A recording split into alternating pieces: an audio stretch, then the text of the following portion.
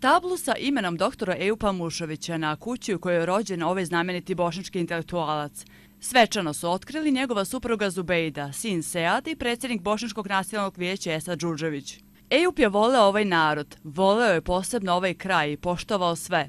Ponosna sam na sve što ste učinili za njega, te na ovaj način uveličali sve što je Ejup postigao za ovaj narod. Rekla je supruga doktora Ejupa Mušovića, boreći se sa emocijama i suzama u očima, koje su izazvali ovaj za cijelu porodicu dirljiv i poseban trenutak. Posebno mi je drago što je ovde, baš u suvom dolu, prisutno ovoliko ljudi, znači da je on ipak zaslužio, ali on je zaista vas voleo. Voleo je ovaj kraj sa izuzetnim uzbuđenjem bi pričao o suvom dolu, o Tutinu, o celom Sanđaku, ali posebno je ovaj kraj voleo.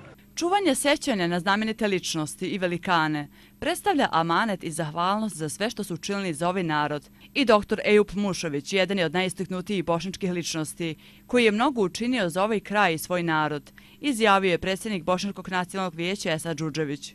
Sretan sam što ste došli da zajedno podijelimo osjećanje poštovanja prema jednom velikom čovjeku prema jednom od najvećih bošnjaka u drugoj polovini 20. stoljeća.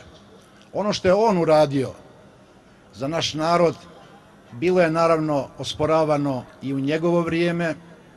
Bilo je mnogi koji su ga, hajde da kažemo, koristili njegov autoritet i njegove radove, ali ipak ostaje jedan doktor Ejub Mušović. Đuđević je poručio da bez obzira na zamerke svojih sunarodnika da će to vijeće nastaviti sa planiranim aktivnostima i bit će na adekvatan način uzdignute i sačuvane od zaborava sve znamenite bošničke ličnosti koje su obeležile određene periode u istoriji Bošnjaka, bilo da su borci, pisci, istoričari ili novinari. U ovoj kući iza nas, 1930. godine, rođen dr. Eup Mušović.